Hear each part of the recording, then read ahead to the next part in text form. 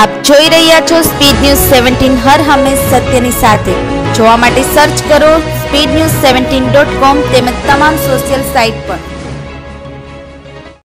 નહીં તો વોટ નહીં. મહીસાગર પાસરોડા પાટિયાના મુવાડાના ગ્રામજનો દ્વારા ચૂંટણીનો બહિષ્કાર. મહીસાગર જિલ્લાના વીરપુર તાલુકાના પાસરોડા પાટિયાના મુવાડાના ગ્રામજનો દ્વારા આવનાર ચૂંટણીનો બહિષ્કાર કરવાનો માર્ગ અપનાવ્યો છે.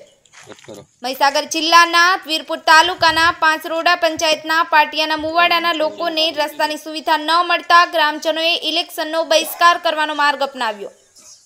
લોકોના જણાવ્યા પ્રમાણે ત્રણ કિલોમીટર જેટલો રસ્તો કાચો હોવાથી અનેક મુશ્કેલીઓનો સામનો કરવો પડી રહ્યો છે. રસ્તો પાકો બનાવવા માટે સરપંચથી લઈ ધારાસભ્ય તેમજ સંસદ સભ્ય સુધી રજૂઆત કરવા છતાં રસ્તાની સુવિધા ન મળતા છેવટે ઇલેક્શન બહિષ્કારનો માર્ગ અપનાવ્યો.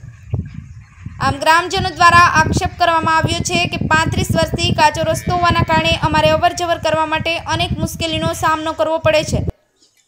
પંચાયતમાં પણ અનેક વખત રજૂઆત કરવામાં આવી છે, છતાં પણ પંચાયત દ્વારા કોઈ પણ કામગીરી હાથ ધરવામાં આવી નથી. અમે વારંવાર સરપંચ તથા ધારાસભ્ય તેમજ સાંસદ પણ રજૂઆત કરી છે, પણ અમારી રજૂઆત માત્ર એક શોભાના ગાંઠિયા સમાન હોય તેમ ગણીને તંત્ર દ્વારા નકારી કાઢવામાં આવી છે. આમ વીરપુર તાલુકાના પાનસડા પંચાયતના પાટિયાના મુવાડાના ગ્રામજનોએ વર્ષોથી રસ્તાની સુવિધા ન મળતા ગ્રામજનો દ્વારા આવનાર ચૂંટણીનો બહિષ્કાર કરવાનો માર્ગ અપનાવી રહ્યા છે. અને બેનરો સાથે રસ્તામાં આવીને રસ્તો નહીં તો વોટ નહીં તેવા નારાઓ સાથે કરી રહ્યા છે આવનાર ચૂંટણીનો બહિષ્કાર. પીડ ન્યૂઝ સેવન્ટીન વીરપુર અત્યાર સુધી જો મારી ઉંમર છે પોત્રીસ વર્ષ.